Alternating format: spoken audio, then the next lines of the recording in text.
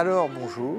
euh, voilà c'est euh, aujourd'hui un grand jour parce que le, disque que j'ai enregistré, enfin auquel j'ai participé, est un disque consacré au très grand compositeur Florent Schmitt. évidemment on ne, connaît pas assez Florent Schmitt mais il faut comprendre qu'il euh, a tenu une place absolument importantissime autour, euh, avant, la guerre. C'est-à-dire que c'était un des compositeurs les plus appréciés et les plus admirés, par exemple, de Maurice Ravel.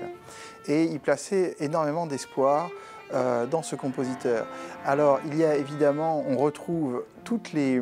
toutes les caractéristiques de l'orchestration et euh, des, comment dire, des grands symphonistes français. Mais il y a en plus, comment dire, euh, beaucoup d'ambition, de virtuosité, beaucoup d'ambition, de, brillance et, de, et, ça, donne, ça donne véritablement un orchestre et un, comment dire, un style de musique extrêmement, euh, euh, extrêmement brillant, extrêmement virtuose et un petit peu qui qui nécessite du dépassement de, l'interprète, mais aussi de l'auditeur. Donc il y, a, euh, une volonté, d'aller, plus loin dans l'orchestre, d'aller plus loin dans les instruments. Alors l'œuvre que je joue, le Introit, et Congé, euh, est particulièrement difficile pour le violoncelle, euh, particulièrement virtuose,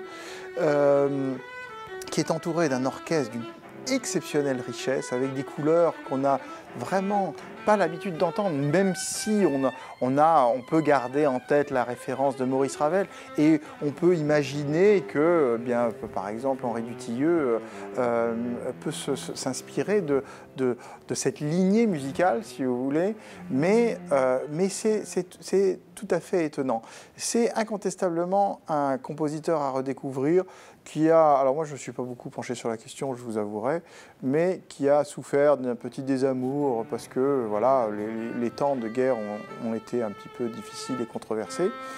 Mais euh, voilà, peut-être qu'il faut se pouvoir et savoir sortir de ce, de ce contexte-là pour, euh, pour n'écouter que la musique euh, d'un compositeur tout à fait,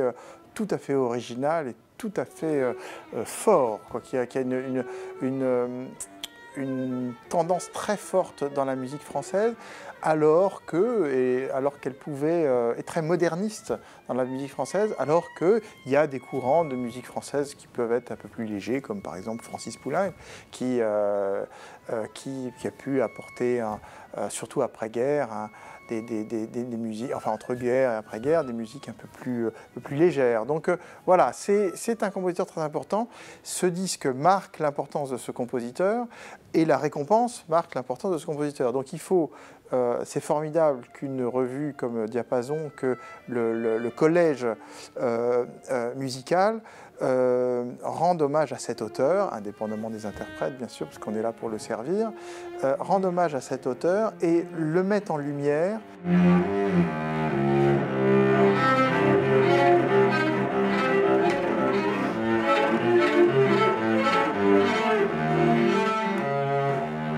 les diapasons d'or, ben, c'est un, grand moment, c'est une récompense, très importante. Euh, c'est surtout euh, une récompense d'une revue et d'un collège de musicologues, de musiciens qui euh, reconnaissent et qui mettent en lumière le grand compositeur qui est Florent Schmitt grâce à ce disque et, donc bon, augmente la, discothèque des, amateurs de musique pour, le mieux, découvrir de nouvelles œuvres et de nouvelles sonorités. D'ailleurs, il faut saluer là le travail euh, du label Timpani qui a pris cette mission à bras-le-corps il y a peut-être une petite trentaine d'années